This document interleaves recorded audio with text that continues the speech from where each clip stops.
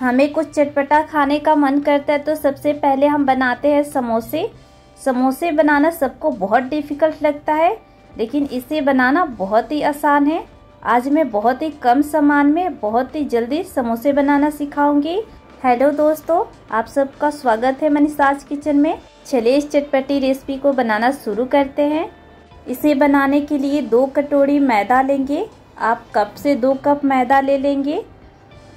इसमें हम डालेंगे चार बड़ी चम्मच तेल डाल देंगे मैन करने के लिए। साथ ही हम डालेंगे नमक, आधी छोटी चम्मच। आप अजवाइन डालना चाहे तो अजवाइन भी डाल सकते हैं। मैंने नहीं डाला इसमें। सारे चीज़ों को मिक्स कर लेंगे। इसे हाथों से मसलते हुए मैन करेंगे। दो से तीन मिनट लगते हैं। जितने ज़्यादा आप मैन करेंगे उतना खास्टा हमारा समोसा होगा। तो इस बात का आप ज़रूर ध्यान रखें। देखिए, इसे मुट्ठी में बांधने पे ऐसे इकट्ठा हो जाए सारी चीज़ें। इसका मतलब ये मैन हो चुका है। इसमें हम थोड़ा थोड़ा पानी डालकर इसका एक डो तैयार करेंगे। इसमें हम थोड़ा थोड़ा पानी डाल के डो तैयार करना है। एक साथ पानी बहुत सारा नहीं डालना है। जितना हम नॉर्मल आटा लगाते हैं, उससे थोड़ा सा सख्त आटा गूनेंगे इसमें। जब डो तैयार हो जाए, इसे हम गीले कपड़े से ढक के 15 मिनट के लिए रेस्ट करने के लिए छोड़ देंगे। गीले कपड़े से ही आपको ढकना है। इसके बाद हम मसाला तैयार करेंगे। मसाला तैयार करने के लिए एक कढ़ाई में हम डालेंगे तीन बड़ी चम्मच तेल। तेल को गर्म होने देंगे। आधी छोटी चम्मच जीरा डालेंगे। एक चौथाई छोटी चम्मच हींग डालेंगे। छोटी चम्मच बारीक कूटा हुआ धनिया डालेंगे। ये चटक जाए, इसके बाद हम डालेंगे एक इंच कद्दूकस करा हुआ अदरक, चार से पाँच बारीक कटी हुई मिर्ची डालेंगे और इसे हम एक मिनट तक लगातार चलाते हुए भूंगेंगे इसमें हम डालेंगे बॉयल आलू। मैंने यहाँ पे आधे के जी के करीब आलू बॉईल करा था, उसे मैश करके डाल देंगे। इसमें कुछ मसाले डालेंगे एक छोटी चम्मच धनिया पाउडर डालेंगे। आधी छोटी चम्मच हल्दी पाउडर। इसके बाद हम डालेंगे जीरा पाउडर। आधी छोटी चम्मच कश्मीरी लाल मिर्च पाउडर डालेंगे। एक छोटी चम्मच इसे कलर बहुत अच्छा आता है। आधी छोटी चम्मच गरम मसाला डालेंगे। स्वाद अनुसार नमक। इसे हम चम्मच से चलाते हुए मसाले को मिक्स कर लेंगे। और इसे हम लो फ्लेम पे चार से पाँच मिनट तक भूज लेंगे।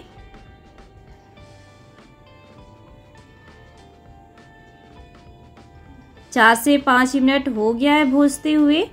देखिए कितना अच्छा कलर आ चुका है इसमें। इसमें हम डाल देंगे धनिया पत्ता। इससे भी मिक्स कर लेंगे हम। एकदम हलवाई जैसे समोसे के मसाले रेडी हो चुके हैं। आप इस तरह से मसाले बनाइए, समोसे की बहुत ही टेस्टी बनता है। जो हमने आटे ढक के रखा था, उससे हम एक से दो मिनट तक और मसल के रेडी कर लेंगे। देखिए, ऐसे ही सख्त आटा आपको गुनना है। और इसमें से थोड़ा सा लेके एकदम रोटी जैसे आपको बेलना है। रोटी से थोड़ा सा पतला बेलेंगे इसे। एकदम नए तरीके से समोसे बनाएँगे, बिल्कुल आसान तरीका है ये। इसमें हाफ़ हाफ़ कट कर देंगे यहाँ चाकू से। दोनों तरफ़ एक एक बड़ी चम्मच मसाले डाल देंगे जो हमने रेडी करा था स्टफिंग के लिए। चारों तरफ़ तेल या पानी लगा देंगे।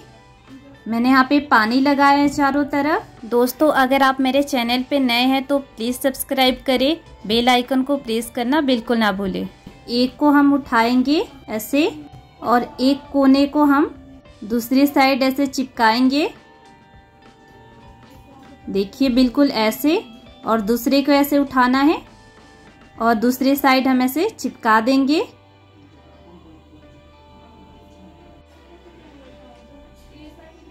जो ऊपर साइड के ऐसे ओपन है, इसे भी हम ऐसे हाथों से दबाते हुए चिपका देंगे।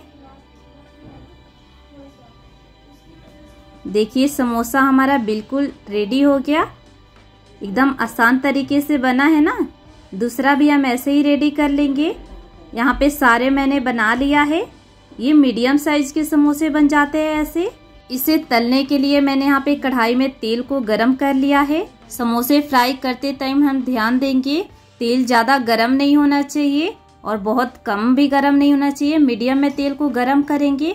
एक एक करके तीन से चार समोसे डाल देंगे और एक से दो मिनट तक एक साइड हम फ्राई करेंगे। दूसरी साइड भी पलट के फ्राई कर लेंगे। तीन से चार मिनट लगता है। इसे ऊपर नीचे करते हुए गोल्डन ब्राउन होने तक फ्राई कर लेंगे। देखिए, इसका कलर आना शुरू हो गया है। इसे हम मीडियम फ्लेम पे ही तलेंगे। हाई फ्लेम बिल्कुल नहीं रखेंगे। अगर आप हाई फ्लेम रखते हैं तो ऊपर ऊपर से ये जल जाएगा, अंदर से कच्चा ही रह जाएगा जिसे समोसा बिल्कुल भी अच्छा नहीं लगेगा। यहाँ पे समोसे मेरे बिल्कुल तल चुके हैं। गैस को लो कर देंगे और इसे हम बाहर निकालेंगे। देखिए कितना खस्ता समोसा बना है, देखने में भी लग रहा है। दूसरा भी हम ऐसे ही तलेंगे, फ्लेम को लो कर देंगे, तेल को ठंडा होने देंगे। उसके बाद हम डालेंगे दूसरे समोसे। फ्रेंड्स, आपको ये रेसिपी पसंद आई है तो प्लीज़ लाइक करें, कमेंट करें।